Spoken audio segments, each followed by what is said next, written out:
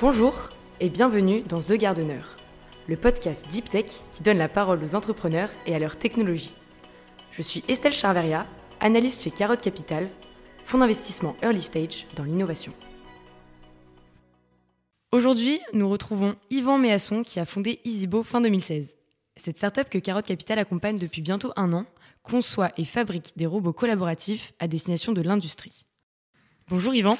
Bonjour. C'est un plaisir de te recevoir aujourd'hui. Merci d'avoir accepté notre invitation.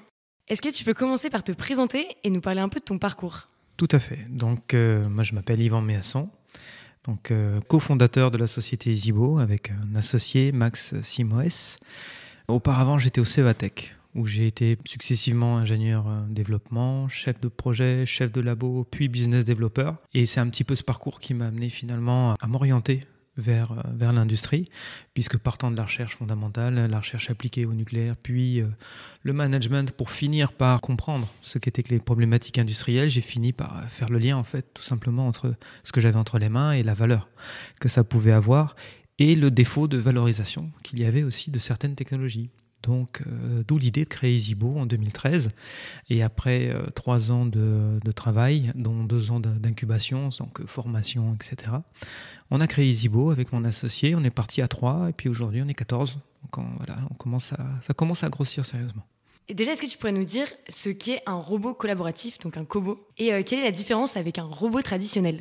Alors, les robots collaboratifs sont des machines qui peuvent travailler à côté des opérateurs. Ça, c'est ce que la, norme permet depuis bientôt 10 ans, depuis plus de 10 ans. En 2010, on a autorisé les gens à travailler à côté des machines sous puissance, sous tension. À partir de là, euh, des roboticiens, certains roboticiens, des Danois les premiers, se sont mis à faire des robots collaboratifs en se disant bah, si on peut travailler sous tension, on va pouvoir enlever, il y a une, opportunité d'enlever les barrières qu'on retrouve sur tous les robots industriels, hein, notamment en automobile, et de pouvoir travailler à côté. Donc ça, c'est l'acceptation classique du terme, c'est la machine qui travaille à côté de vous. Elle travaille donc en sécurité à côté de vous. Avec EasyBoo, on va un cran plus loin, on cherche à travailler avec l'opérateur. Et donc on conçoit euh, l'ensemble homme, opérateur et machine comme un ensemble unique, et on essaie de tirer parti du meilleur de la présence de l'un, l'agilité, la capacité de s'adapter et les compétences humaines, et la perception aussi humaine, avec euh, ben, la fatigabilité, on dirait, et la reproductibilité de la machine qu'est le robot. Ok, très clair. Et donc, est-ce que tu peux nous parler un peu de la jeunesse d'Isibo? Comment t'es venu l'idée et l'envie de te lancer sur euh, ce marché et euh, dans ce domaine? Effectivement, en 2010, euh, je suis devenu business développeur pour le CEATEC, donc j'ai commencé à vendre de la R&D. Et j'ai bien vu assez vite que mon goût allait pour l'industrie et j'ai commencé à vendre de la R&D pour l'industrie.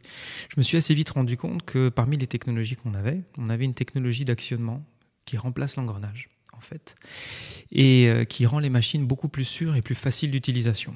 Et ça, j'arrivais pas à le vendre en tant que tel, parce que tout le monde en avait besoin, mais personne ne voulait payer pour les autres si tu vois ce que je veux dire. Donc à la fin, il a fallu casser un petit peu ce paradigme, c'est dire, bah, écoute, euh, si tout le monde en veut, mais que y a, euh, comment personne ne veut payer la R&D pour le faire, il faut trouver une autre façon de valoriser. Il y a une vraie opportunité. Et euh, en 2013, on a choisi avec le chef de labo donc de lancer un premier projet, puis d'autres où on a aggloméré, on faisait des des petits pas finalement. Et le CEATEC m'a accompagné euh, dans cette démarche euh, en mettant à ma disposition un certain nombre de moyens du laboratoire pour finalement arriver à un robot viable mi-2018, oui, première entrée en industrie mi-2018. Ok, très clair.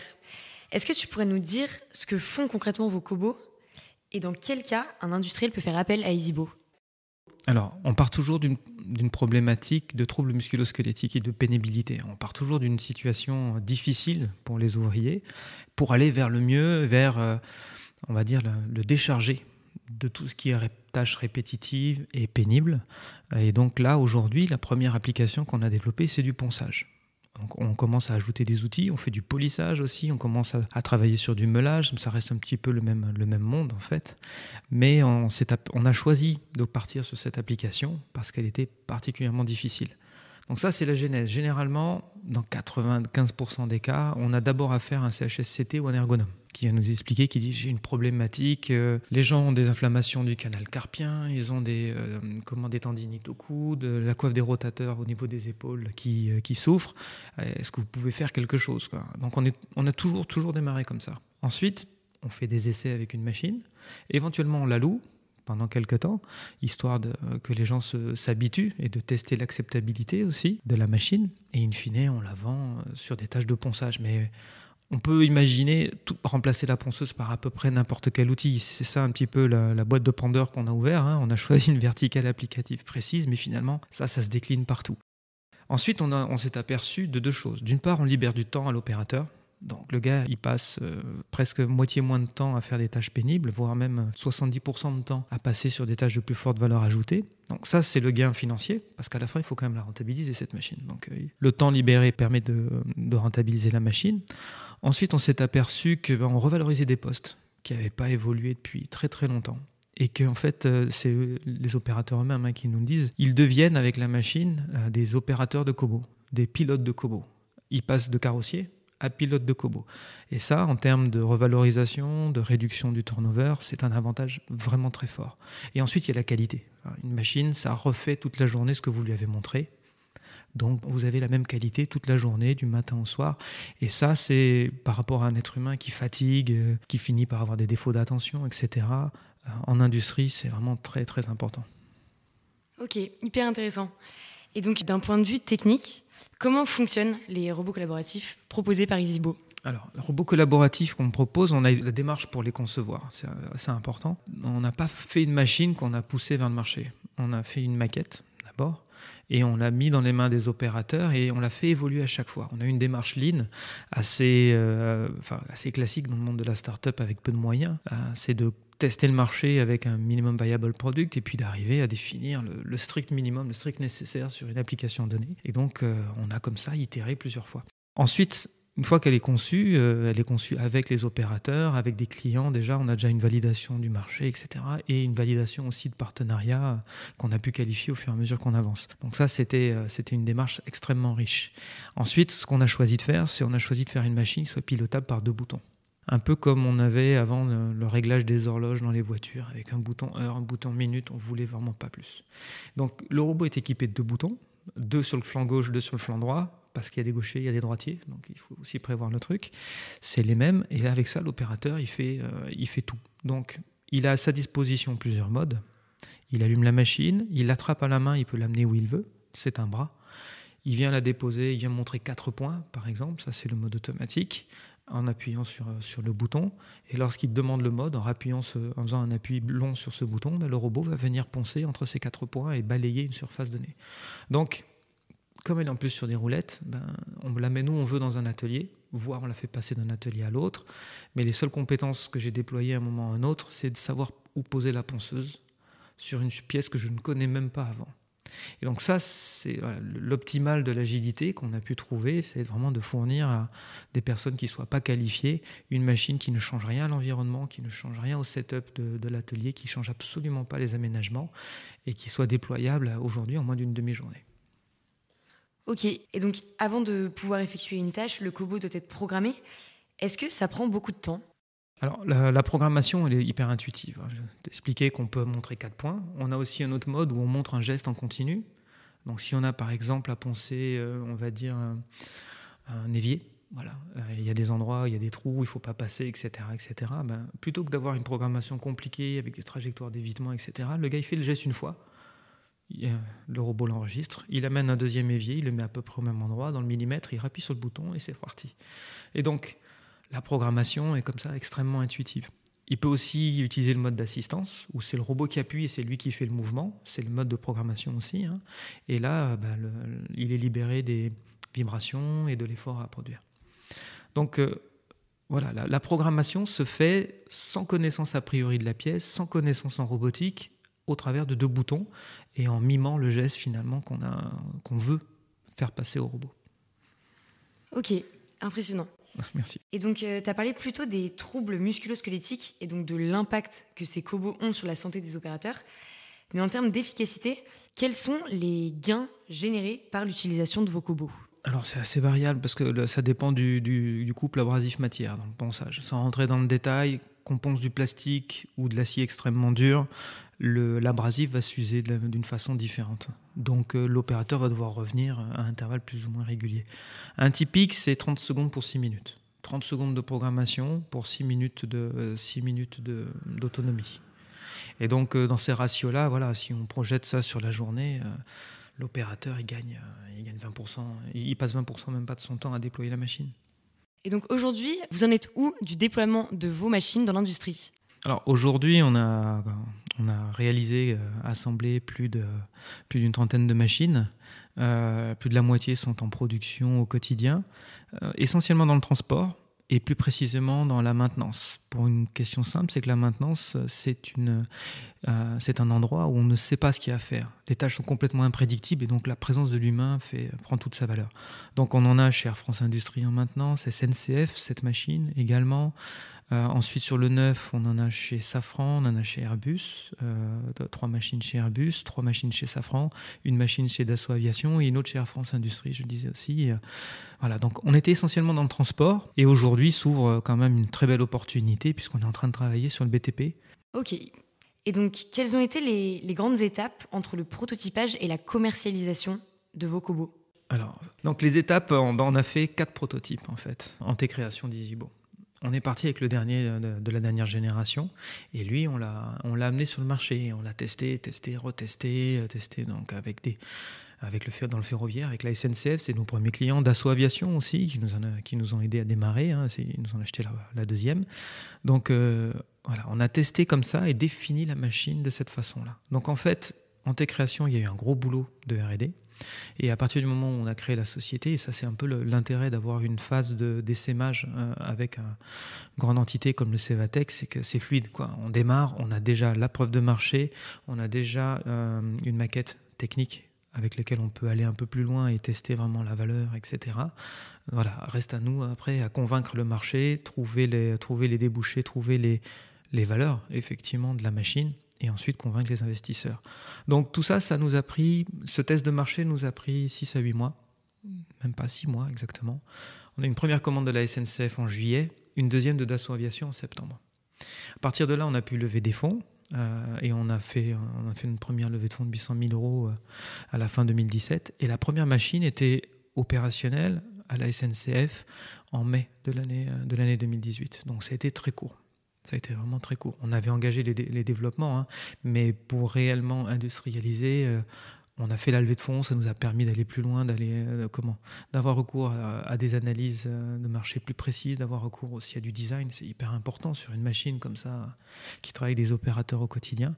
Et donc, in fine, voilà, ça, ça a l'air d'être qu'un seul run de même pas 18 mois, mais c'est pas le cas. Avant, il y a 15 ans de boulot sur la techno et il y a 3 ans à faire plusieurs générations de prototypes. Ok, très clair. Pour Isibo, quelles sont les prochaines grandes étapes et euh, quel est l'objectif à terme? Alors, euh, les prochaines étapes immédiatement, c'était l'objectif de la, levée de fonds l'année dernière. Premier objectif, c'était le développement de nouvelles verticales. Donc, on a une application de ponçage et on cherche aujourd'hui, on a déjà intégré le polissage, on intègre d'autres outillages. Euh, donc, c'est le développement de nouvelles verticales avec potentiellement de nouveaux, de nouveaux relais industriel. Donc ça, c'est un premier objectif. Le deuxième, c'était le, développement commercial international. Donc euh, je ne te cache pas que la crise actuelle nous a un petit peu limité. Néanmoins, on a déjà deux machines en Allemagne qui tournent, une chez Safran et une chez Airbus. Et euh, on est en train de discuter avec euh, Airbus Espagne. Et on a aussi d'autres pistes avec la Deutsche Bahn, sachant que la SNCF a sept machines. La Deutsche Bahn, qui est l'équivalent SNCF en Allemagne, on pense que ça devrait bien marcher. Mais ça fait déjà quatre mois, quatre fois qu'on reporte, euh, qu'on reporte notre rendez-vous euh, et nos essais grandeur nature. C'est prévu depuis longue date. Ça reste valable. Nous, on n'a qu'une hâte, c'est de pouvoir euh, repartir sur le marché et puis aller donc à la conquête de l'Allemagne, où on a un VIE très bientôt d'ailleurs aussi. et donc le troisième objectif, l'objectif un peu, un peu plus long terme, c'est le développement d'une machine de forte charge, capable de soulever 35 kg. Donc on a aujourd'hui une machine qui soulève 10 kg à 1m60.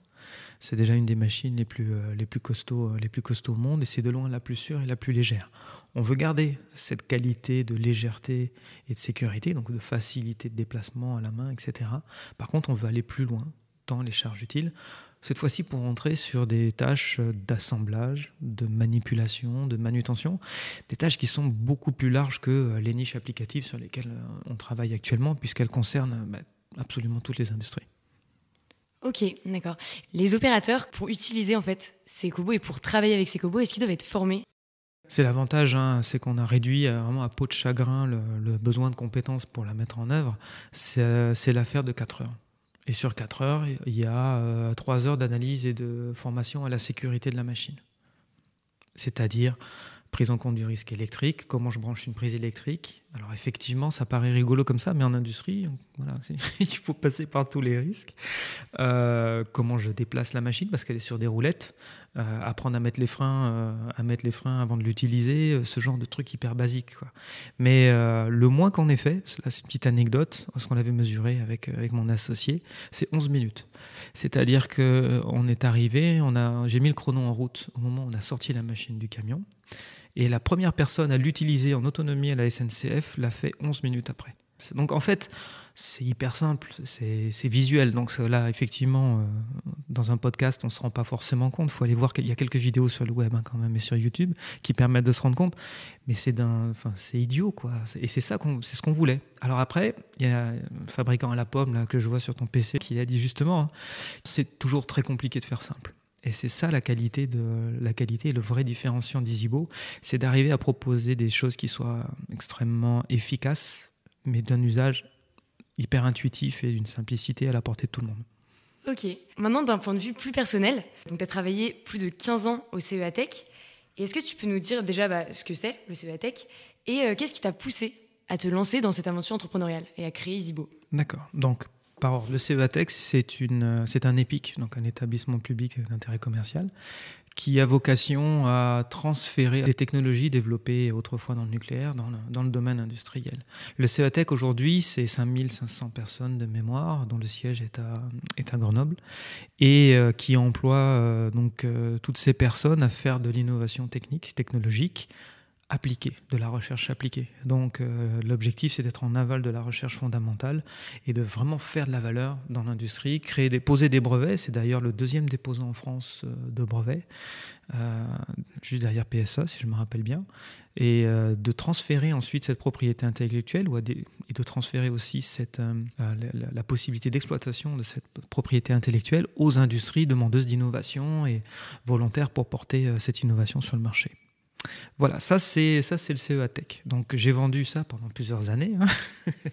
Euh, euh, c'est c'est assez passionnant parce que de mon point de vue, moi j'ai vu, enfin j'ai pu voir énormément de choses. J'ai pu travailler sur la chirurgie mini-invasive, euh, sur le démantèlement des installations nucléaires. J'ai pu travailler sur la fusion thermonucléaire, donc des robots capables de rentrer dans des enceintes complexes avec dans l'ultra vide à température forte, etc. jusqu'au jusqu'à l'agriculture. Enfin bon, le, panel des applications est extrêmement large et c'est c'était un travail qui était très très riche. Donc au fur et à mesure, moi, de, ma culture scientifique, j'ai pu ensuite faire du management et in fine aller sur le marché et vendre cette activité-là du CEATEC justement. Et c'est là où j'ai eu, bah, j'ai pu comprendre que d'une part j'avais une fibre commerciale, ce dont je me serais jamais douté parce qu'en rentrant au CEATEC, on n'imagine pas du tout euh, finir par créer sa société euh, et encore moins avoir un goût pour vendre les choses voilà. Mais voilà, on se découvre au fur et à mesure, au fur et à mesure qu'on avance. Donc le cheminement personnel, c'est celui-ci, c'est euh, euh, vraiment dans, le, dans, la continuité finalement de, la recherche que j'ai pu mener sur, sur ces 15 années. Ok. Et euh, au cours de ton parcours, quel a été le principal obstacle que tu as rencontré? Alors, il y en a eu pas mal hein, quand même, hein, bien évidemment. C'est pas, c'est jamais une longue route tranquille. Moi, j'ai eu la chance de sortir d'une, d'une, grosse entreprise, effectivement, de bénéficier de formation, bénéficier de deux ans de salaire payé par le CEA, avec en plus euh, les moyens du laboratoire. Donc, euh, il y a pas mal de galères que je n'ai pas vécues, que certains comment, créateurs n'auraient, auraient, auraient dû essuyer. Quoi. Euh, mais Bon, après, ça, me permet d'avoir d'autres ambitions aussi, fin fine, et d'aller plus vite aussi sur le marché. Euh, les plus grosses difficultés, elles sont presque d'ordre personnel, en fait. C'est-à-dire euh, être capable de renoncer à des choses. Ça, mine de rien, ça, c'est une expérience personnelle. Après, chacun le vit comme, comme il le vit. Moi, ce que j'ai vu, c'est qu'avec un robot, on peut tout faire. On peut mettre n'importe quel outil au bout. Et rien que le choix de faire que du ponçage au début, ça a été un crève-cœur absolu. C'est-à-dire qu'il fallait laisser tout un tas d'applications de côté, euh, les garder en tête parce que je ne renonce pas comme ça, mais euh, il fallait renoncer. Quoi. Et cette capacité à renoncer, ça, c'était difficile, mais c'était plus du, perso. Ensuite, bah, la crise sanitaire est pas simple à gérer, bien évidemment. Ça, on est en plein dedans, donc on peut pas dire que ce soit une partie de plaisir. Hein. C'est nerveusement difficile. Euh, il faut, la, remise en question qu'on a opérée cette dernière année était vraiment très profonde, autant dans les modes de fonctionnement de l'entreprise que dans les modes de valorisation ou dans euh, l'aspect technique aussi, dans les développements techniques. Il a fallu arbitrer des choses, il a fallu tout repenser. Euh, au-delà de ça, au-delà de ça, oui, pour moi c'est essentiellement des. Enfin, j'adore mon boulot. Je pense que ça, ça passe quand j'en parle, mais euh, j'adore ce travail-là. J'adore cette capacité qu'on peut avoir dans une entreprise, dans une start-up, à décider, à se mettre en action dans la demi-heure qui suit, voire moins. Parce que venant du CEVATEC, c'est quand même une grosse société, c'était pas aussi simple, c'était pas aussi agile. Donc ça, je l'apprécie au quotidien tellement que bon, les, les, quelques difficultés auxquelles il a fallu, au travers desquelles il a fallu passer, bon, bah, c'est du passé, ça nous a rendu un peu plus forts, hein, c'est tout. Ah, très belle philosophie. Merci. si tu pouvais donner un conseil à ton toi d'il y a 10 ans, qu'est-ce que tu lui dirais? Ah, Fais-toi confiance un peu plus.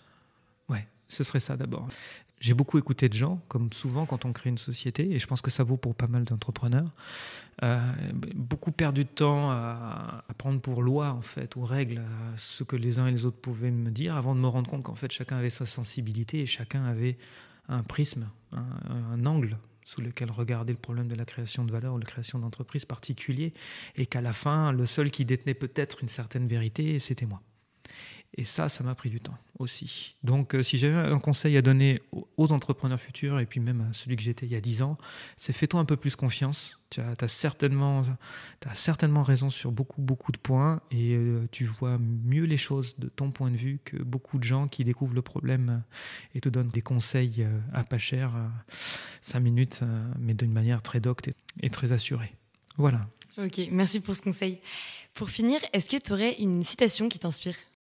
Oui, il y en a une, c'est un professeur de Dauphine, c'est marrant que tu me poses cette question qu'elle me revienne aussi vite, mais elle a, dit, elle a quand même euh, été à l'origine de mon adaptation, on va dire, au fur et à mesure de, ma vie d'entrepreneur. C'est donc c'est un professeur de Dauphine dont je ne saurais plus euh, retrouver le nom, euh, qui disait qu'en réponse à ses élèves, qui le questionnaient pour savoir comment se créer des opportunités, il leur a répondu que pour se créer des opportunités, il fallait d'abord en être une soi-même. Et ça, je le cultive, j'essaie de le garder. C'est-à-dire que tout ce qu'on me dit, tout ce que je vois, c'est une opportunité en soi. Et que moi-même, je dois être euh, une opportunité pour chacun. Quitte à parfois y passer du temps. Et, mais bon, pouvoir décider en connaissance de cause, il faut aussi, enfin de ne pas poursuivre par exemple une expérience ou, euh, ou, ou un développement, il faut aussi être à l'écoute en permanence et il faut toujours être en position d'aller vers les autres. Ok, effectivement, ça, donne matière à réfléchir. Je te remercie Yvan, c'était un plaisir d'échanger avec toi. Je t'en prie, c'était un plaisir également. Si vous êtes intéressé par EasyBo, vous pouvez retrouver Yvan Méasson sur LinkedIn. Et si vous voulez avoir plus d'informations, vous pouvez également aller sur leur site internet easybo.com. C'est déjà la fin de ce podcast. Si vous l'avez aimé, n'hésitez pas à le partager autour de vous et à mettre 5 étoiles sur Apple Podcast ça nous aide beaucoup. Vous pouvez me faire un retour directement par LinkedIn et si vous êtes entrepreneur, vous pouvez aller sur notre site internet carotte.capital ou nous contacter par email à contact@carotte.capital. À bientôt.